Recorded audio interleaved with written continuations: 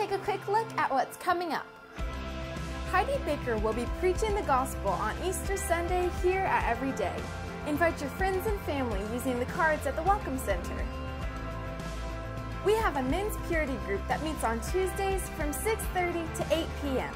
Contact Dean Resno for details, and his contact information is in the bulletin. We will be having baptisms on Easter Sunday right after our second service at Grover Beach. If you're wanting to get baptized, please sign up at the Welcome Center or email us at info at everydaychurch.com. There will be a short baptisms class at 11 a.m. on Easter Sunday for those wanting to get baptized. Join us for Belong today at 1 p.m. if you're new to our everyday family. This is a great way for you to get to know our leaders, hear our church vision, and find your fit in our family. Lunch is provided. Voices House of Prayer has officially launched, and you're invited to participate. All are welcome to come pray, study your Bible, or sit and soak in the presence of the Lord. Prayer room hours are in the bulletin. There is also opportunity to participate as a prayer leader, singer, or musician.